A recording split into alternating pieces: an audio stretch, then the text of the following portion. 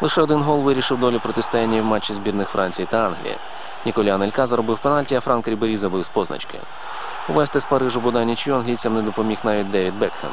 Головний доробок найгламурнішого футболіста сучасності в своєму сотому матчі за національну збірну жовта картка. 1-0 за французами, які вперше за останні 59 років переграли Англію у себе на батьківщині.